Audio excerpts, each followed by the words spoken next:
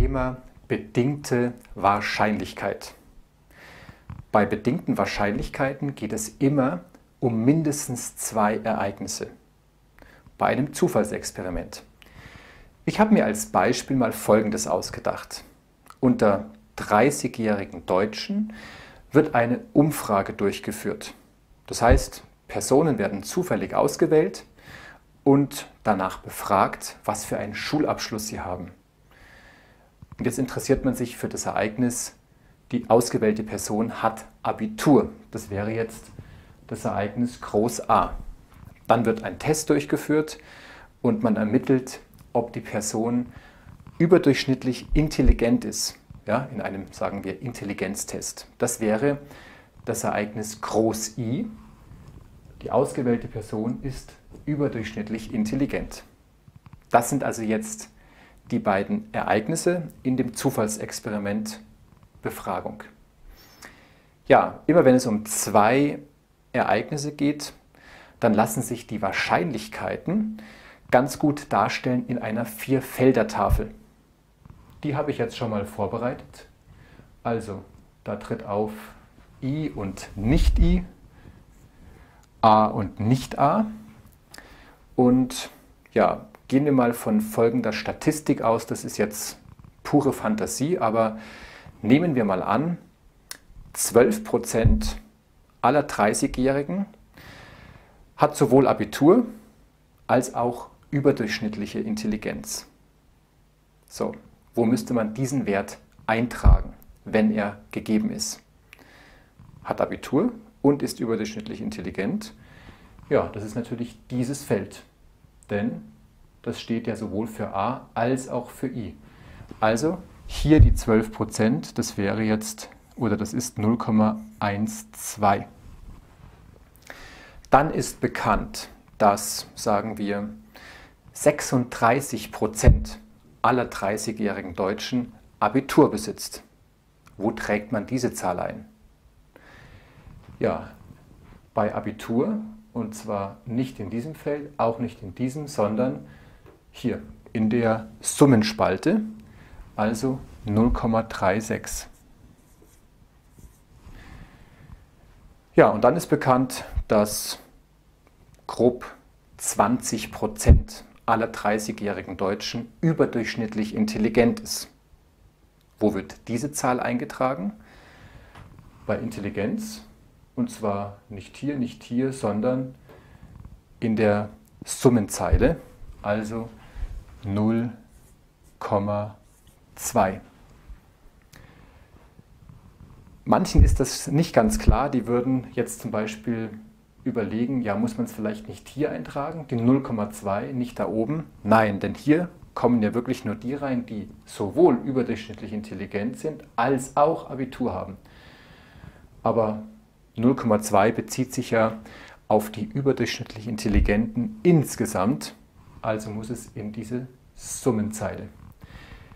Wenn man jetzt diese drei Werte hat, dann kann man alle anderen Felder ergänzen. Man weiß nämlich, dass hier immer die 1 steht. Also die 1 steht für 100% für alle zusammen. Ja, und es müssen die beiden zusammen die 1 ergeben. Also steht hier 0,8.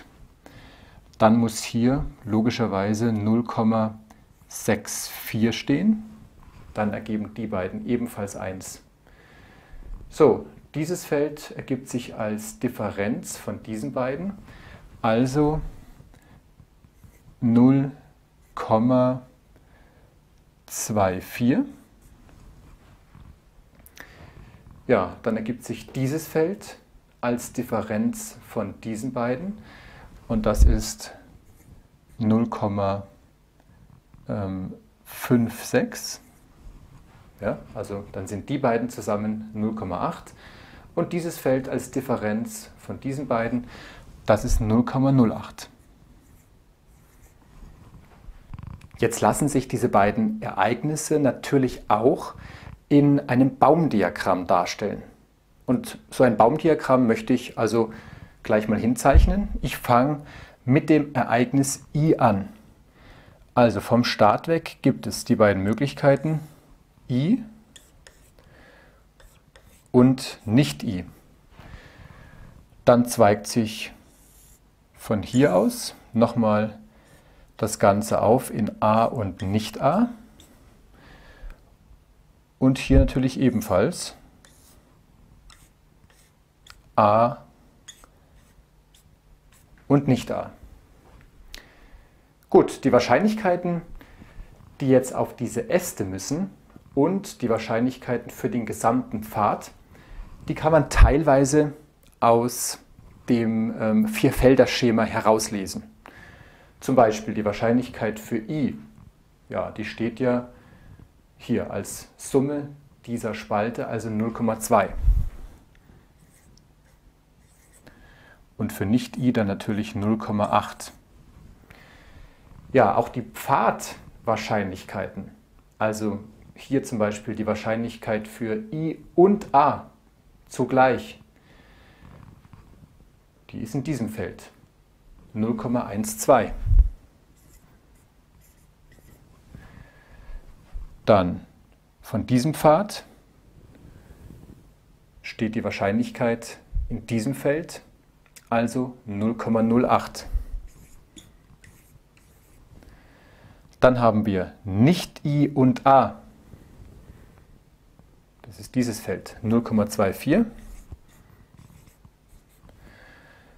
Nicht I und nicht A, 0,56.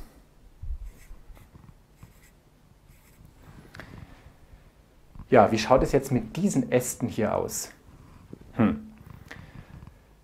Manche von euch denken vermutlich, ja, hier muss doch eigentlich, nachdem dieser Ast ja zu a führt, muss hier die Wahrscheinlichkeit für a also 0,36.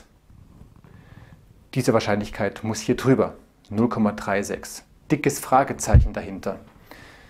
Ist das richtig? Nein, es ist falsch. Und ähm, ja, ich kann es zweierlei, auf zweierlei Weisen begründen. Zum einen, was bedeutet denn 0,36? Das heißt, dass 36 Prozent aller Deutschen oder aller 30-jährigen Deutschen in diesem Beispiel Abitur hat.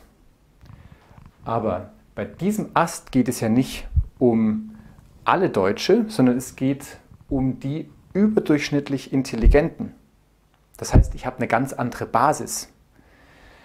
Und allein deshalb ist schon die 0,36 natürlich an dieser Stelle falsch. Man kann es auch ganz anders begründen und zwar kannst du dich an die Pfadregeln erinnern. Du weißt, dass sich diese Wahrscheinlichkeit, also die Pfadwahrscheinlichkeit, ergibt, indem man die Astwahrscheinlichkeiten, die also zu diesem Pfad gehören, miteinander multipliziert. Wenn also jetzt hier 0,36 stünde, dann müsstest du die beiden Werte multiplizieren, also 0,2 mal 0,36 plus, da kommt nicht 0,12 raus. Also nochmal eine andere Begründung, warum an dieser Stelle 0,36 falsch ist. Ja, welche Zahl muss dann hier hin? Wie kommt man zu dieser Wahrscheinlichkeit? Im Prinzip habe ich es ja gerade schon verraten. Wenn man weiß, dass diese Zahl mal diese Zahl 0,12 ist, dann muss ich natürlich 0,12 durch 0,2 teilen. Das Ergebnis ist 0,6 und das ist die gesuchte Wahrscheinlichkeit. 0,6. Ja, und warum ich die jetzt rot markiere, hat den Grund, das ist nämlich jetzt eine bedingte Wahrscheinlichkeit. Und zwar ist es die Wahrscheinlichkeit von a unter der Bedingung i. Ja, man könnte auch sagen, unter der Bedingung, dass i eintritt. Also, um es nochmal ganz deutlich zu machen. Hier steht die Wahrscheinlichkeit von dem Ereignis i. Hier steht die Wahrscheinlichkeit von dem Ereignis i und zugleich a, geschrieben als i geschnitten a. Und 0,6, das ist also jetzt die bedingte Wahrscheinlichkeit, so geschrieben, die Wahrscheinlichkeit für a unter der Bedingung i. Und die wird also als Index dazu geschrieben. Die Wahrscheinlichkeit von a unter der Bedingung i. Ja, und wir haben eigentlich gerade schon die Formel entwickelt. Man kommt also auf die bedingte Wahrscheinlichkeit, indem man diese Unwahrscheinlichkeit durch diese hier teilt. Das ist also die bekannte Formel für die bedingte Wahrscheinlichkeit. Ich schreibe sie nochmal hin. P von a unter der Bedingung i ist gleich, also diese Wahrscheinlichkeit, p von i und a, geteilt durch die Wahrscheinlichkeit von i.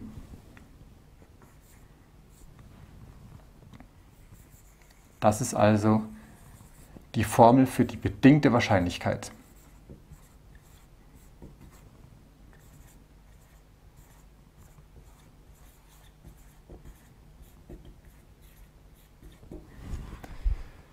Gut, wollen wir es gleich mal anwenden. Gesucht ist jetzt die Wahrscheinlichkeit für i unter der Bedingung a. Mhm, was habe ich gemacht? Ich habe einfach mal die beiden Ereignisse vertauscht. Manche denken jetzt vielleicht, naja, da müsste doch eigentlich dasselbe herauskommen. Also, wenn ich hier a und i vertausche, dann kommt tatsächlich dasselbe raus, weil ob ich jetzt sage A und I oder I und A, es ist ja immer dieses Feld gemeint. Okay, das gilt also für das Unterereignis. Kann man hier auch vertauschen? Schauen wir es uns doch mal anhand der Formel an. Also, laut Formel ist es ja die Wahrscheinlichkeit von A und I geteilt durch die Wahrscheinlichkeit von dem unteren, also von a. Ja, das ist einfach diese Formel, aber eben umgestellt. Und wenn wir jetzt die Werte ablesen, p von a und i, steht hier, also 0,12, geteilt durch die Wahrscheinlichkeit von a, und das ist 0,36, Ja, was kommt raus? Das passt genau dreimal rein, also gekürzt ein Drittel. Tja, und ein Drittel ist nicht derselbe Wert wie 0,6. Jetzt möchte ich noch kurz über die Formulierungen sprechen, denn viele Fehler passieren, indem man den Text bei einer Textaufgabe nicht richtig liest. Wie würde man diese bedingte Wahrscheinlichkeit denn in Worte fassen? Ja, da gibt es unterschiedliche Formulierungsmöglichkeiten, eindeutige und weniger eindeutige. Ich fange mal mit der eindeutigsten an. Die Wahrscheinlichkeit dafür, dass jemand Abitur hat, unter der Bedingung, dass er überdurchschnittlich intelligent ist. Also, das würde man sofort erkennen als Schüler. Bisschen kritischer ist es schon bei folgender Formulierung die Wahrscheinlichkeit, dass jemand Abitur hat, wenn er überdurchschnittlich intelligent ist. Und die missverständlichste Formulierung, aber korrekt trotzdem, ist folgende. Die Wahrscheinlichkeit, dass ein überdurchschnittlich intelligenter Schüler Abitur hat, auch das wäre diese bedingte Wahrscheinlichkeit. Und das wird eben von der Formulierung oft verwechselt mit dem Untereignis oder dessen Wahrscheinlichkeit. Aber hierfür müsste man sagen, die Wahrscheinlichkeit dafür, dass jemand überdurchschnittlich intelligent ist und zugleich Abitur besitzt. Ja, und nochmal im Gegensatz, die Wahrscheinlichkeit, dass ein überdurchschnittlich intelligenter Schüler, also es wird vorausgesetzt, dass er überdurchschnittlich intelligent ist, dass ein überdurchschnittlich intelligenter Schüler Abitur besitzt. Also hier muss man genau lesen. Und jetzt komme ich nochmal zurück zu diesem Baumdiagramm. Ich habe gerade mal die Wahrscheinlichkeiten hier noch ergänzt. Also immer indem man den hinteren Wert durch den vorderen teilt, kommt man zu diesen Werten. Ja, und ich möchte es nochmal ganz deutlich sagen. Wir haben zwei Äste, die zu a führen, aber da stehen unterschiedliche Werte drüber. Wir haben gesehen, es sind bedingte Wahrscheinlichkeiten und sie hängen ab von dem Buchstaben davor, also von dem Ereignis davor, ob es auftritt oder ob es nicht auftritt. Ja, in der Regel, sagen wir mal, stehen hier unterschiedliche Werte, aber es kann natürlich auch möglich sein, dass diese Werte gleich sind. Und über so einen Fall möchte ich zuletzt nochmal mit euch sprechen. Folgendes Beispiel. Es geht jetzt um die beiden Ereignisse Kopf bei einem Münzwurf und 1 beim Würfeln. Also im Baumdiagramm mal dargestellt. Erstmal betrachte ich den Münzwurf. Und da gibt es eben die Möglichkeit Kopf oder Zahl. Ich schreibe jetzt mal nicht Kopf statt Zahl. Und die Wahrscheinlichkeit dafür natürlich jeweils 0,5. So, und jetzt kommt der Würfel ins Spiel.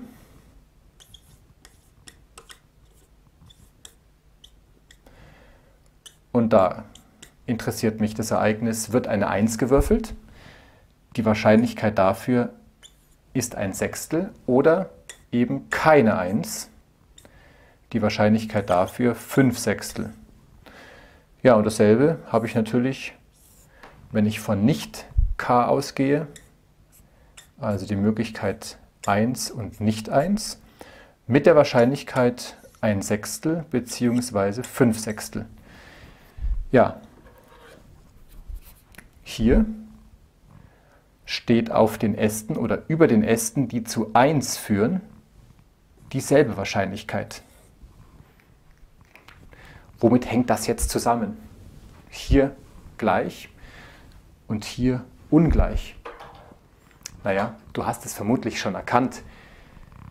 Diese beiden Ereignisse K und E, die sind voneinander unabhängig. Anders ausgedrückt, für das Würfeln ist es völlig unerheblich, was beim Münzwurf vorher rauskam. Es spielt keine Rolle, es hat keine Bedeutung. Man könnte auch sagen, die Wahrscheinlichkeit von E unter der Bedingung K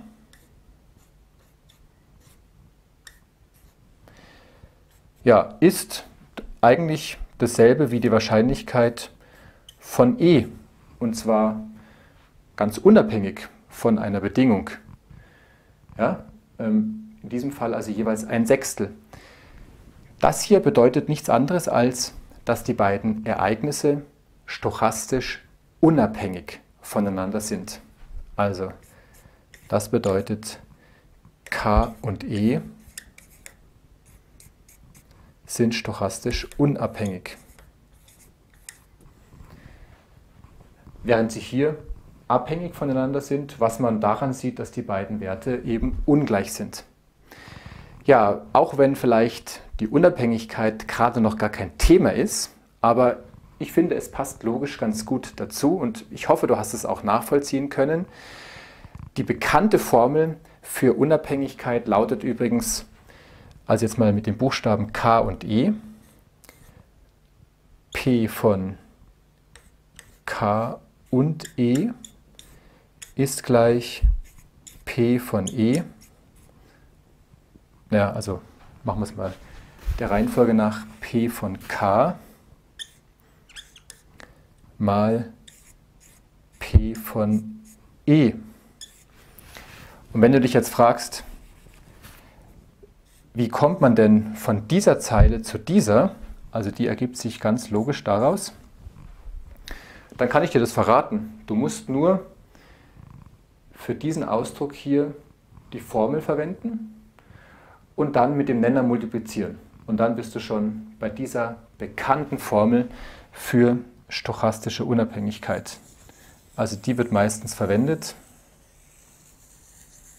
Ja, und ich hoffe, dass es einigermaßen logisch für dich ähm, rübergekommen ist. Und jetzt viel Spaß bei den eigenen Übungen.